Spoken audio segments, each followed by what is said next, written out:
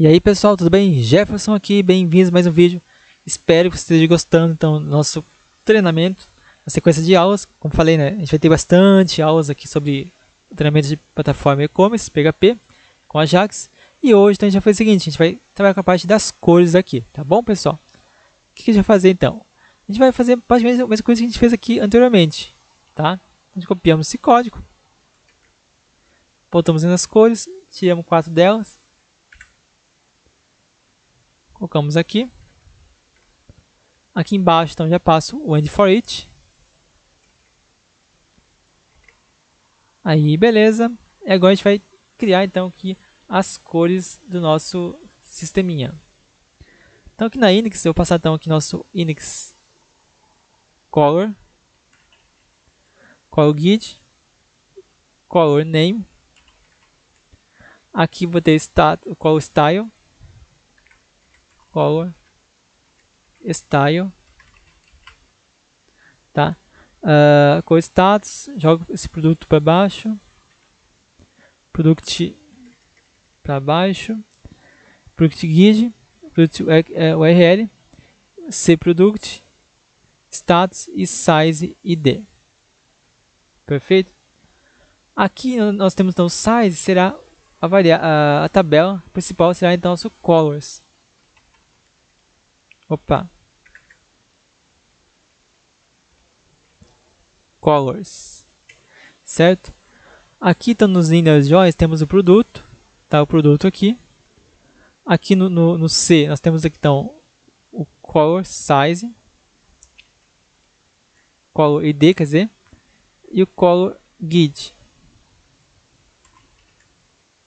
Certo? E aqui no Group By, nós vamos então estar utilizando esse group by então o color name.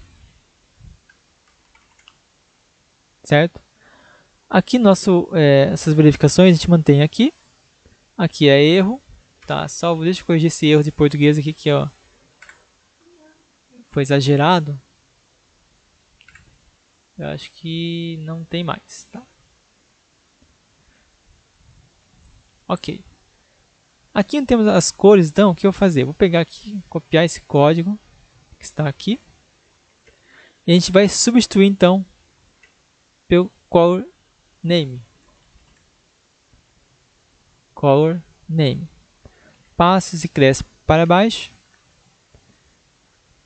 Aqui, então, passo a cor.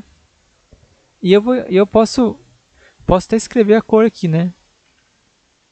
Aqui então será o color size, cadê? Aqui. Color style, na verdade. Style. Beleza. Azul, branco, verde, vermelho. Tá? Esse color style, ele está vindo aqui, ó. O que, que ele é responsável? Ele é responsável então por trazer a cor, né? A cor aqui para nossa nosso retângulozinho aqui, ó. Então você está vendo vermelho, né? cor vermelha, verde, ele que vai ser o responsável por isso. Tá? Por isso que nós passamos aqui então, dentro do TP Color e, e a cor dinâmica, pega a cor dinâmica aqui. Certo, pessoal? Então, é só verificar aqui, Ctrl F5.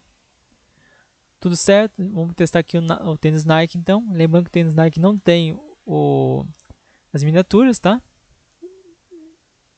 Aqui no erro, então tem que corrigir esse erro também as miniaturas. Deixa eu voltar aqui. Miniaturas.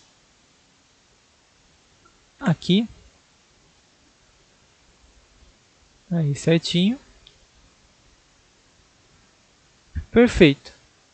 Então pessoal, espero que vocês tenham gostado. Se inscreva no canal, deixe seu like, compartilhe, comenta. E divulgue também para você poder ajudar a gente a ganhar mais relevância no YouTube. Tá bom pessoal? Até, te vejo na próxima, até mais.